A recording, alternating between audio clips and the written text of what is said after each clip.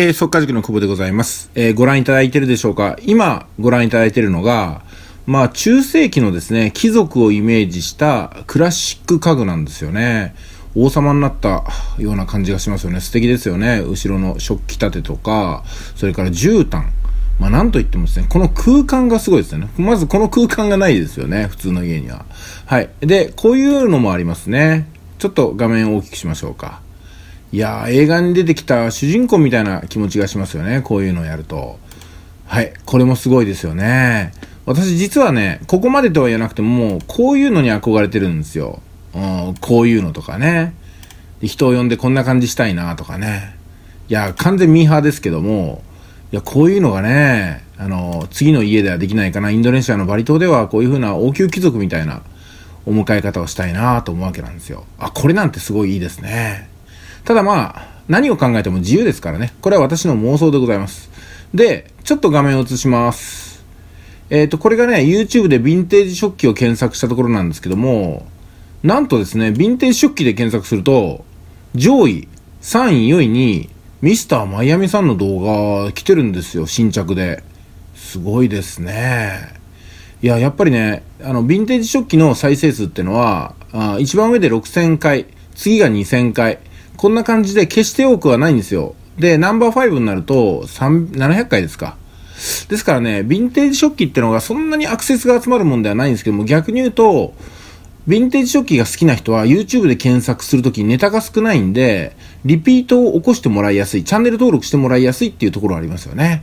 というところで、この辺までですね、ヴィンテージ食器の、おマイミスターまゆみさんのね、え、紹介をちょっと一旦終了しまして、私のあヴィンテージ食器に対するちょっと思いを聞いてください。次の画面いきます。はい。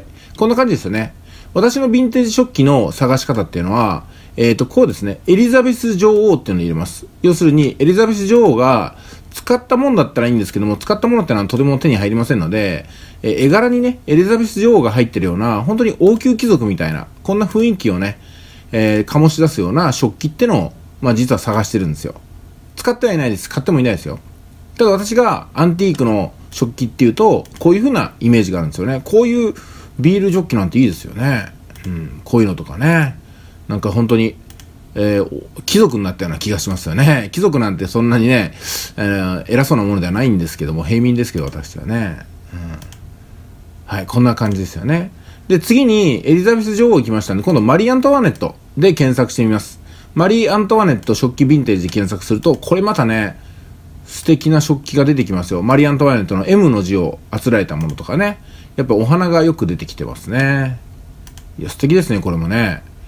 で、こういううマリー・アントワネットの肖像画が右下に出ていて、で、このね、銀のソーサーとカップもありますよね。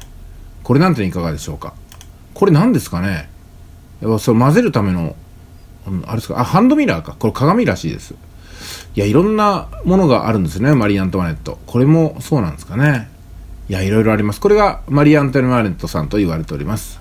で、中世紀の貴族ということで食器を検索すると、やっぱりね、こういう銀の、いや、これどこに売ってるんでしょうね。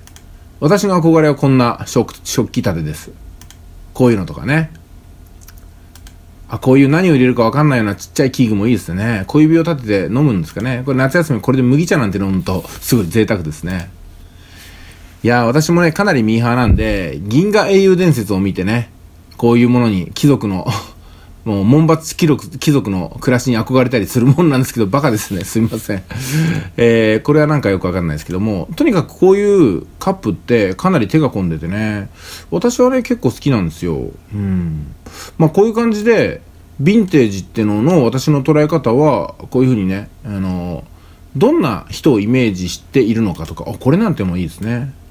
そういうところに来るんですけども、そういう意味で言うと、私も、ミスターまゆめさんとかね、奥さんではないんですけども、結構こういうね、古典的な、あ器具とか家具とか好きなんですよ。もちろん今は私は中世ヨーロッパじゃなくて、日本、メイドインジャパンの中世、中世って言わないですね。江戸時代とか、あなんか室町幕府とか、ああいう風なね、古典芸能の世界に入ってますけども、やっぱりね、古めかしい器具とか、和服とかね、好きなんですよね。まあですんでね、えー、こう、ヴィンテージの、こう、なんですかね、食器とはちょっと思考が、趣が違うと思いますけども、私の場合は、あ和式のね、和風の古いものをちょっと求めてるかなっていうとこですよね。まあそういう意味で言ったら、種類が違う江戸、同じ趣味なのかなと思っちゃいます。これ何でしょうかね。へえ。コーヒーはコーヒーカップになんかこうやって垂らすみたいな文化があるんですか？ちょっとついてたから見てみましょうか。うん。コーヒー受け皿の本来の使い方。えー、こうやるらしいですよ。えー、実はコーヒーを受け皿に移して冷ましながら飲むものだったと。えー、現代では使い方全然違いますよね。これは知らなかった豆知識でございます。ということで今回の動画終わらせていただきます。以上です。ありがとうございました。